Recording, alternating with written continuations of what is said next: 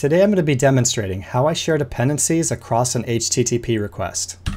Here I have set up a basic Hello World application.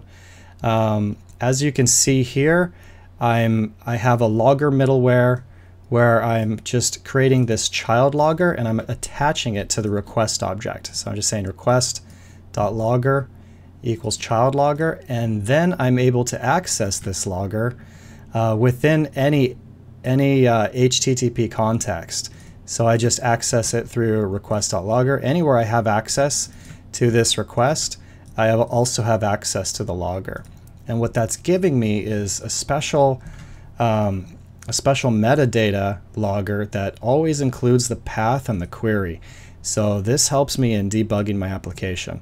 Let me go ahead and just start my application and I'm going to access my user route. As my user ID 1 returns my object, I can go back in here and I can see uh, that it's requesting user 1 and that is from this log here within my user route. It's requesting user 1 and I'm saying uh, this is 1 but it's also automatically attaching the metadata. What I want to be able to do is inside of other functions, let's say um, this mock database function, I have a get user uh, that takes an input. You can see here I just have regular console logs um, because this get user doesn't have access to the request object.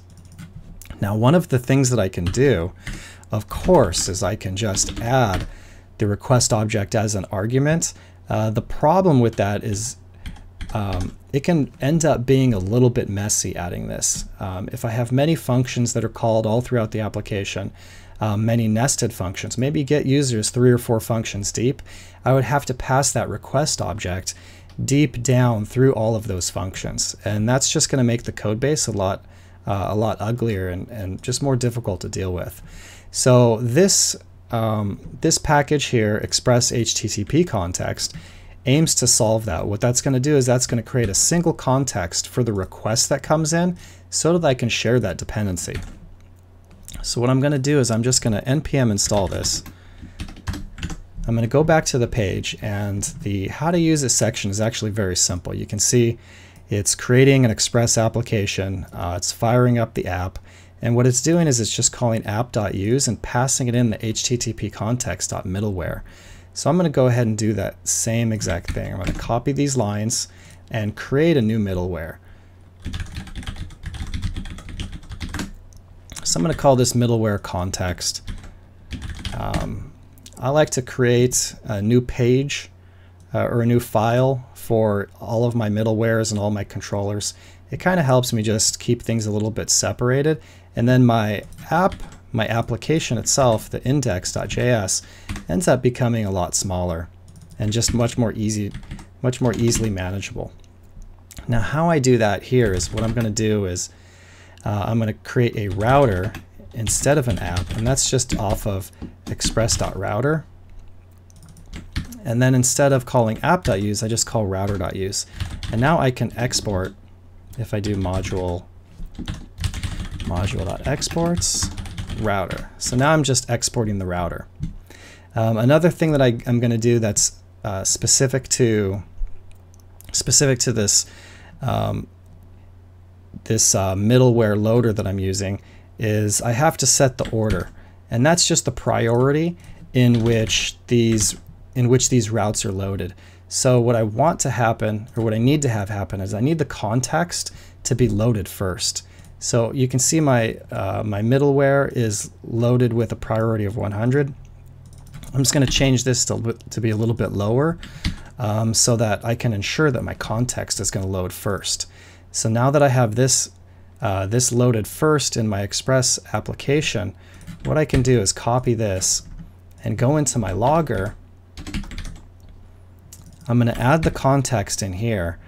And what I want to do is I want to add this child logger into the context. So where, where I'm creating this, um, so I'm creating this child logger on line 10.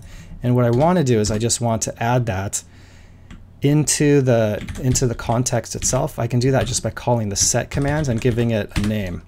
Uh, in this instance, I'm just going to call it logger, and then I'm just going to pass in the child logger.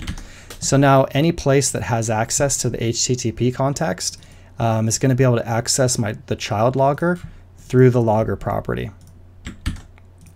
So what I should be able to do is inside the DB, um, just as long as this is called somewhere uh, within an HTTP context, which all of this code uh, is going to be called from within an HTTP context.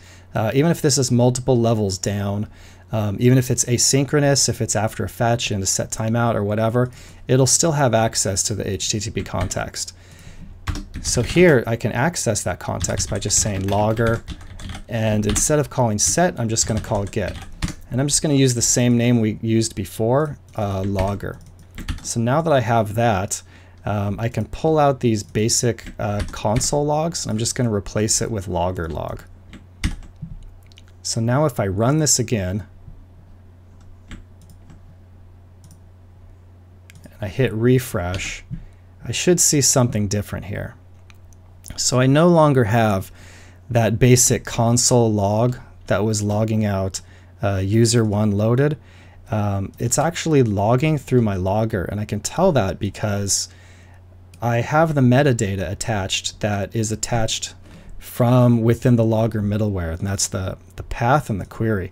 So now I can see um, when this when this user was loaded, what page actually requested it, as well as the arguments for that page. So this is going to help me debug a lot faster. So I can see if I were to um, pass in some junk, let's say I just hit uh, a user request, um, I can see in here that it says could not find user undefined, and that is this exact message here. And this is coming in uh, from the user uh, with the with nothing in the query string. So that tells me that in here I probably should be doing some sort of uh, some sort of validation, not passing this in raw, but making sure that uh, the ID itself is actually valid. So now that I have um, access to this context, I can pass something like this logger in and it can make my debugging life just a whole lot easier. So just to review, all I had to do here was add the context middleware, call router.use before any other routes. Then where I create the object itself, all I have to do is call http context.set. Anywhere I want to get that, I again call http context.get. Um, and now I can pass anything around um, any dependencies that'll be specific to that exact HTTP context. This uh, Express HTTP context package actually solves a fairly complicated problem in a, in a really simple and elegant way. Um, you can see all you have to do is call one getter and one setter. So this is one package that I definitely love to add to my Express projects. So if you found this useful, definitely please share it with your coworkers or friends. I'm a small channel just getting started out, and I appreciate every little share or like I can get. Um, anyway, thanks for watching until the end. Bye.